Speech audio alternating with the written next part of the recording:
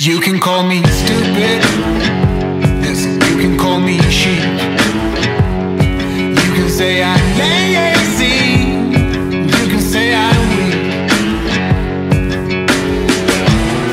You think that using her would get to me. And if you're right, then you're in